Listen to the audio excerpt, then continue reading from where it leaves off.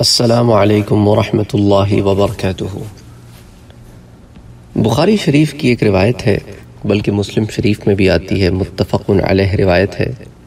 हुजूर अकरम सल्लल्लाहु अलैहि वसल्लम ने इरशाद फरमाया कि मैं जाम बातों के साथ भेजा गया हूँ और हैबत से मेरी मदद की गई है।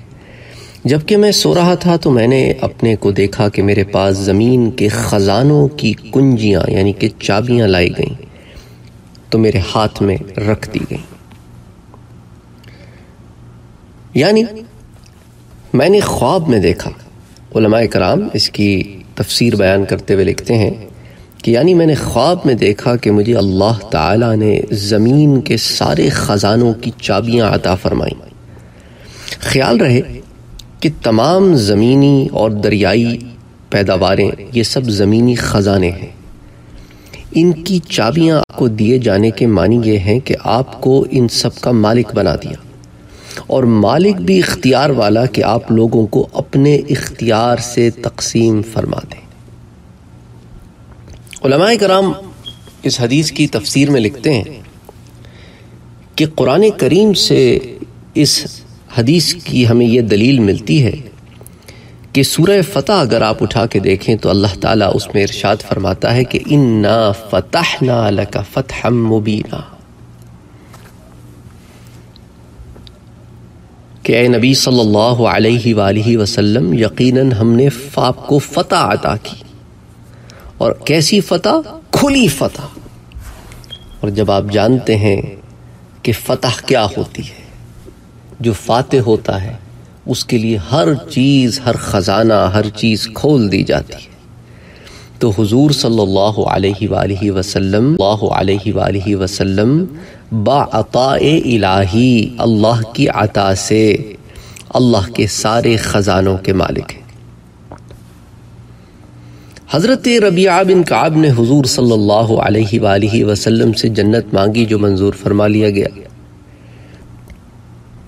बाज़ कराम फिर इसमें और मज़ीद इजाफा भी करते हैं कि तमाम ख़जानों की कुंजियाँ, यानी हर तरह के इख्तियार हुजूर अलैहि वसल्लम को अता फरमा कर आपको अल्लाह ताला ने यूँ मालिक बना दिया इन चीज़ों का। ऑफ़ कोर्स अल्लाह ताला ही हर चीज़ का मालिक है। यही मसला है कि लोग यही समझते हैं कि जब इस तरह तशरीह पेश की जाती है, अहल सुन्नत की किताबों से तो वो समझते हैं मादल्ला के कोई शिरकी अकीदा है। शिरकी अकीदा नहीं है। अब मिसाल के तौर पे आप एक घर बाय करते हैं। आपकी प्रॉपर्टी हो जाती है तो आप से क्या कहते हैं, इस घर का मैं मालिक हूँ? तो आप पे कोई शिरक का फतवा लगाता है कि कमाल करते हो, मालिक तो अल्लाह है हर चीज़ का। तुम कैसे घर के मालिक बन बैठे? तो ये अताई इख्तियार है। अल्लाह ताला ने आपको माल दिया, उस माल से एक चीज़ आपने ख़रीदी, उसने ख़ुद कानून बताया, बनाया कि भाई या तो आपको कोई हिबा कर दी जाए, या आप ख़ुद ख़रीद लें तो आप उस चीज़ के मालिक हो जाते हैं, मिल्कियत आपके पास आ जाती है, दुनिया का असूल है। तो इसी उसूल के तहत अल्लाह ताला ने ये मिल्कियत अपने प्यारे नबी सल्लल्लाहु अलैहि वसल्लम को अता फरमा दी। तुम कौन होते हो सवाल उठाने वाले? इनके हाथ में, अल्लाह ताला ने हुजूर सल्लल्लाहु अलैहि वसल्लम के हाथ में कुंजियाँ रख दी। अब उसमें तमाम कुंजियाँ दाखिल हैं। नुसरत की कुंजी भी दाखिल है, नफ़े की कुंजी भी दाखिल है, ख़जाने भी दाखिल हैं, ज़मीन की कुंजियाँ भी हैं, दुनिया की भी हैं, जन्नत की भी हैं। की भी हैं, यही वो शफात का हक है। अल्लाह अकबर अल्लाह अकबर। मसला क्या है कि लोग बड़े महदूद सोचते हैं। फतावा रिजविया उठा के देखें, जिल्द नंबर तीन, सफ़ा नंबर 426 से 435 तक। बड़ी तफसील मिल जाएगी आपको। अल्लाह अकबर अल्लाह अकबर। लेकिन जो लोग भटक जाते हैं, फिर उनमें दो किस्म के लोग पैदा होते हैं। एक वो, जो कुंजियों के माने ही बदल देते हैं। और कहते हैं कि इससे मुराद उम्मत को अता होंगी। भाई, उम्मत को अता होंगी तो फिर उम्मत का लफ्ज़ इस्तेमाल कर देता मेरा रब। जैसे बाकी हदीसों में भी उम्मत का लफ्ज़ इस्तेमाल हुआ है। हुजूर को अता की गई क्या मतलब? और हुजूर ही के वसीले से फिर आगे आता हूँ। तो बांटने वाले तो हुजूर ही हैं ना? कासिम तो हुजूर ही हैं, सल्लल्लाहु अलैहि वसल्लम। तुम असल को छोड़ देते हो, शाखों को पकड़ने पे लग जाते हो। दूसरी तरफ़ गुलू करके कादियानी पैदा हो गए। जिन्होंने कहा भाई जी, कुंजियाँ मिल गई तो नबूत भी बांट दी। इन्ना व इन्ना राजिऊन। यानी ये दो एक्सट्रीम्स हैं जो गलत हैं, सीधी राह से दूर हैं। इमाम काजी अयाज रहमतुल्लाह अलैह, आप मालिकी हैं मसला कर आप फरमाते हैं, आपकी बड़ी मशहूर किताब है शिफा आप फरमाते हैं, शिफा की जिल्द नंबर दो, सफ़ा नंबर उन्नीस पर, जो हर हाल में सरकार मदीना सल्लल्लाहु अलैहि वसल्लम को अपना वाली और अपने आप को हुजूर का ग़ुलाम ना समझे, वो सुन्नत नबी की मिठास से महरूम रहेगा, सल्लल्लाहु अलैहि वसल्लम। यानी जो हदीस शरीफ में अल्फाज आते हैं ना मोती अता करने वाला, कासिम, तकसीम करने वाला। ये अल्फाज आपने सुने होंगे ना? अल्लाह मोती है, देने वाला है। और मैं कासिम हूँ, बांटने वाला हूँ। रब है मोती ये है कासिम, है? अल्लाह अकबर अल्लाह अकबर। हुजूर तकसीम करने वाले हैं। नेमतें अल्लाह की हैं, अल्लाह ही की तख्लीक है, अल्लाह ही ने उन्हें बनाया है, अल्लाह ही खालिक है, अल्लाह ही मालिक है, अल्लाह ही राजिक है। अना कासिम ये बुखारी की रिवायत है। दर्जा सही की रिवायत है कि अल्लाह करीम आता फरमाता है और मैं तकसीम करता हूँ।